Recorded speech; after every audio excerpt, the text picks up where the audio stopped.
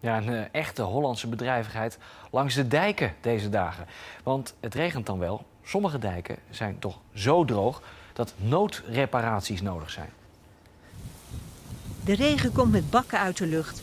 Maar toch leidt, zoals overal, het land bij Gouda onder de droogte. Dit is de enkele Wierke. En deze dijk beschermt het achterland. Het is een eeuwenoude dijk. Want hier staat zelfs nog een paal uit de tijd van Napoleon. Die palen gaven het dijkvak aan dat de bewoners aan de dijk moesten onderhouden. Nu is de dijk van het Hoogheemraadschap Rijnland. De Veendijk langs de Enkele Wierke, het is een kanaal uit de 14e eeuw, laat zien wat er gebeurt als de regen lang uitblijft.